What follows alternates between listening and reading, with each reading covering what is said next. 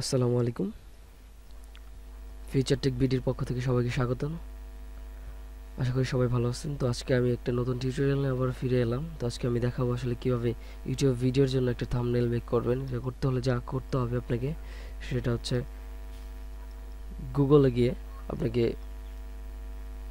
Thumbnail background লিখে search করতে হবে। তো সার্চ করলে এখানে আপনি অসংখ্য পরিমাণে থামনেল ব্যাকগ্রাউন্ড পেয়ে যাবেন। তো এখান থেকে আমি একটা ওপেন করে নিচ্ছি।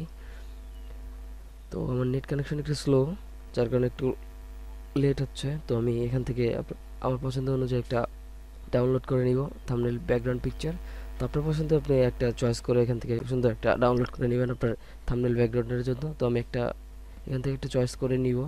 তো আমি এই তো এটা সিলেক্ট করলাম। তো এটা আমি এখান থেকে ডাউনলোড করে নিব।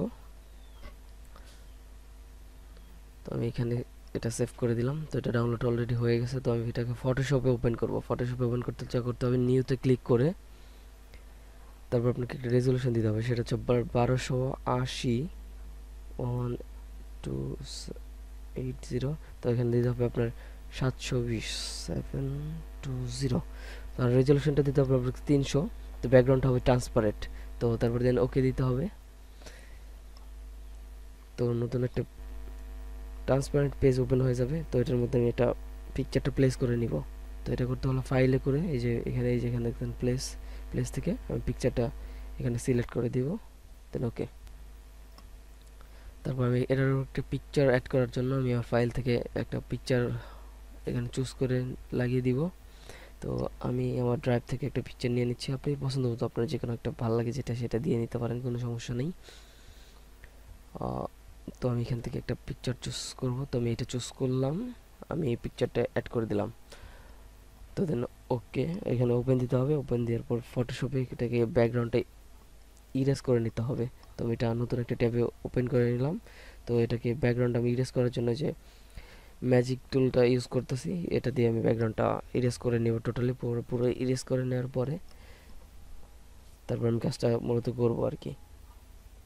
তো আমি এটাকে একটু সিলেক্ট করে ব্যাকগ্রাউন্ডটা বাদ দিয়ে দিব। আপনি আপনার পছন্দ মতো একটা পিকচার চুজ করে সেটা নিয়ে কাজ করতে পারেন। তো আমার যেহেতু পুরোটার প্রয়োজন নেই, তো পুরোটা না সিলেক্ট করলেও হবে। নিচ থেকে আমি সিলেক্ট করেছি। যাক, পুরোটা আমার লাগবে না, তো আমি এটাকে আবার সিলেক্ট করে লকটা খুলে এটাকে ক্রপ করে নেব এবং ব্যাকগ্রাউন্ডটা ইরেজ করে দেবো। ব্যাকগ্রাউন্ডটা ইরেজ করার জন্য ব্যাক স্পেসে চাপ দিলে ব্যাকগ্রাউন্ডটা চলে যাবে। তো কন্ট্রোল প্লাস দিয়ে জুম করে নিব জুম করে যে ব্যাকগ্রাউন্ডটা থেকে কিছু অংশ ব্যাকগ্রাউন্ডে রয়ে গেছে সেটাকে আমি ল্যাসো টুল দিয়ে ইরেজ করে নিব। ল্যাসো টুল দিয়ে আমি এটাকে সিলেক্ট করে নিয়ে তো আমি ডিলেট অথবা ব্যাক স্পেস দিয়ে আপনি সরিয়ে দিতে পারেন। তো এই যে এখানে একটু বাকি রয়ে গেছে, তো এখান থেকে আমি একটু সিলেক্ট করে দিয়ে এটাকে আমি ইরেজ করে দিব। ও দেন কন্ট্রোল মাইনাস দিয়ে এটাকে জুম আউট করে নিব। তো এটা কাটা অলরেডি শেষ। তো মাইনাস করে জুম আউট করার পর তো আমি এটাকে সিলেক্ট করে আমি ক্রপ টুল দিয়ে এটাকে ক্রপ আমার যতটুকু প্রয়োজন ততটুকু ক্রপ করে আপনার যতটুকু প্রয়োজন আপনি সেটাকে ক্রপ করে নেবেন। যেহেতু পুরোটা দরকার নেই, তাই পুরোটার ব্যাকগ্রাউন্ডের কাজ করার আমার কোনো প্রয়োজন নেই। যেহেতু আমি আর এটা পুরোপুরি ভালো করে সিলেক্ট করতে হবে না না করলেও হবে কারণ আমি এটার সাইডে একটি স্টক অ্যাড করে দিব। তো এটাকে আমি সিলেক্টে সিলেক্ট করে নিয়ে আমি সেই থামনেল পেজটাতে নিয়ে এখানে লাগিয়ে দেবো। তো এটাকে ছোটো করতে হলে কন্ট্রোল মাইনাস দিয়ে জুম আউট করে কন্ট্রোল টিতে প্রেস করে এটাকে ছোটো করে নিতে হবে। তো এটা ছোটো করে নিলাম। তো দেন আবার কন্ট্রোল প্লাস দিয়ে আমি এটাকে জুম করে নিব। তো দেন এটাকে আবার কন্ট্রোল টি দিয়ে একটু সিলেক্ট করে একটু ছোটো হয়ে গেছে মনে হচ্ছে, তো এটাকে আমি আবার একটু বড় করে নিব। হ্যাঁ দেন ওকে আর কিছু করতে হবে না, তো এটাকে আমি সাইডে চার সাইডে একটা স্টক অ্যাড করে দিব। স্টক কোড দিতে যেটা করতে হবে। এই তো ওকে তো স্টক দিব এখন।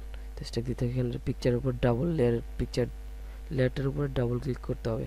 তো ব্যাকগ্রাউন্ডটা একটু ছোট হয়ে গেছে, তো এটা আমি একটু বড় করে নিলাম।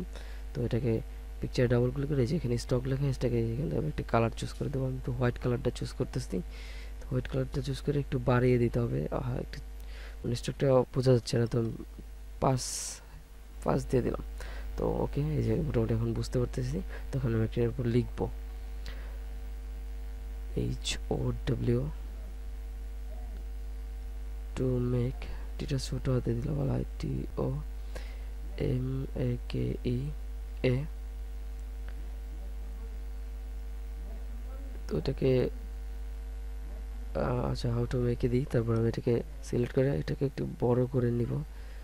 আচ্ছা বড়টা পরে করে। আগে বড়টা লিখে নিই। থামলেন T H U B N okay thumbnail তো তারপর এটাকে সিলেক্ট করে নিব। সিলেক্ট করে একটু উপরের দিকে উঠিয়ে দিলে হয়, অথবা আচ্ছা এখান থেকে আমি সাইজটা থার্টি করে দিই থার্টি করে দিয়ে এটাকে আমি সাইডে নিয়ে আসি ওকে আমি পরে এটাকে প্লেস করে নেব, ঠিকঠাক প্রথম জায়গায় লেখাটাকে কমপ্লিট করে নিতে ওটাকে আমি সাইজটা থার্টি দিয়ে দেবো। তারপরে আরও কিছু লিখতে হবে সাইড করে সিলেক্ট টুল দিয়ে সাইড করে নিলাম। তো আমি এটাকে আবার একটা লেখা লিখতে হবে, সেটা হচ্ছে আপনার ফর ইউটিউব দেন এটাকে আমি একটু করে ইউটিউব বড় হতে হলো। ওকে দেন আমি সেটা প্লেস করে নিয়ে। হুম বিআইটিইও এস সেটাকে সাইড করে একটু করে দিলে ভালো হয়। আচ্ছা সাথে বাংলাটা লিখে দিই। বাংলাটা লিখে দিলে ভালো হবে। সে যাতে বুঝতে পারে public B N G L লেখাটা বাইরে চলে গেছে। তো এটাকে আমি একটু ই করে দিচ্ছি। পিকচারটা আমি সাইড করে নিয়ে দেবো সাইড করে পরে আমি লেখাটা একটু এদিকে বামের দিকে একটু চাপিয়ে দিব। তো পিকচারটা চাপানোর পর তো এই যে তো অনেক স্পেস হয়ে গেছে। আচ্ছা তো আপনি এভাবে দেখে দেখে টিউটোরিয়ালটা খুব ইজিলি মেক করতে পারেন। থামনেল মেক করা খুব কঠিন কিছু না। থামনেল হচ্ছে আপনার ভিডিওর উপরে যে পিকচারটা আপনাকে দিবেন ওইটা হচ্ছে আপনার থামনেল তো কাস্টম থামনেলটা আপনি ফটোর উপরে খুব ইজিলি সুন্দরভাবে মেক করে নিতে পারেন। ভেরি ইজি তো এটাকে আমি লেখাগুলোর সাইড একটু অ্যালাইনমেন্ট করার পর সুন্দর করে একটু অ্যালাইনমেন্ট করে নিচ্ছি। সিরিয়াল করার পর আমি এটাকে সার্চ সাইডে স্টক দিয়ে দিব। তো এটা সাইড চাপিয়ে নিই। হ্যাঁ ওকে এই তো ওকে আর সাইডে হ্যাঁ ওকে এখন আমি যেটা করতে হবে, সেটা হচ্ছে আমি এখান থেকে স্টক দিয়ে নেব।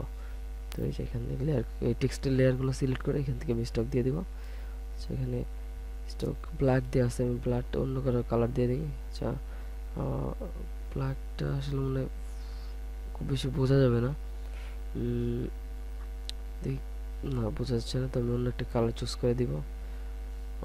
এখান থেকে কোন কালারটা দিব? আচ্ছা সেটা দিয়ে দেখি কেমন দেখা যায় এটা। সেটা দেখে নিই। ভালো লাগছে না। তো অন্য একটা কালার দিতে হবে। না, এটাও তেমন একটা ভালো যাচ্ছে না আর কি। তো হ্যাঁ এটা এটা ওকে আছে, ঠিক আছে। তো আমি এখান থেকে দ্বিতীয় টেক্সটটা থেকে আরেকটা স্টক দিয়ে নেব। তো আমি এই কালারটা সিলেক্ট করে দিচ্ছি। ওকে এটাও বুঝতে সুবিধা হচ্ছে। খারাপ না চলে। তো ইউটিউব লিখে ফর ইউটিউব থেকে আরেকটা স্টক দিয়ে দিই। ঠিক স্টকে ক্লিক করে, এখান থেকে একটা কালার চুজ করে দেন একটা সাইজটা একটু বাড়িয়ে দিয়ে দেন ওকে দিলে হবে। ভেরি ইজি ভেরি সিম্পল আপনি চাইলে সহজেই পারবেন। তো এখান থেকে একটা কালার সিলেক্ট করে দিই। কালারটা ভালো লাগবে না মেবি হচ্ছে অন্য একটা কালার সিলেক্ট করি। আচ্ছা ওকে এটা এটা ওকে ওকে এটা থাক। তুমি একটা ফাইভ দিয়ে দিলাম। তো নিচেরটা আরেকটা স্টক অ্যাড করে দেবো। নিচেরটার মধ্যে আরেকটা স্টক করতে এখানে ক্লিক করে, আমি একটা অন্য একটা স্টক একটা কালার চুজ করে দেবো। আচ্ছা এখান থেকে কোন কালারটা রেডের মধ্যে রেড মেবি ভালো লাগবে না আচ্ছা অন্য একটা কালার দিই। হ্যাঁ ওকে এই কালারটা মোটামুটি দেওয়া যায় আচ্ছা আমি এই কালারটা একটু ফাইভ দিয়ে দিই। ওকে দেন আমি এটাকে সেভ করে নিব।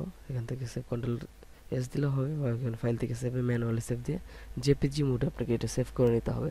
আর আপনি থামনেল দুই এমবির বেশি কোনো পিকচারের সাইজ হয়ে গেলে সেটা আপনি আপলোড করতে পারবেন না। সো দুই এমবির মধ্যে রাখতে হবে। তো এটা আমি কি থামনেল ফর ইউটিউব ভিডিও লিখে সেভ করে রেখে দিই। তো এটাই হয়তো মেবি আমার এই ভিডিওর থামনেল হবে। তো এটা সেভ করে নিলাম, একদম ইজি তো আমি এটা হাই মোডে সেভ করে নিলাম। তো দ্যাটস ইট এটাই হবে আমার এই ভিডিওর থামনেল আর আমার ভিডিওটা যদি ভালো লাগে তাহলে অবশ্যই একটা লাইক দিবেন শেয়ার করুন আপনার ফ্রেন্ডদের সাথে এবং নতুন হয়ে থাকলে অবশ্যই অবশ্যই আমার চ্যানেলটি সাবস্ক্রাইব করবেন। ধন্যবাদ।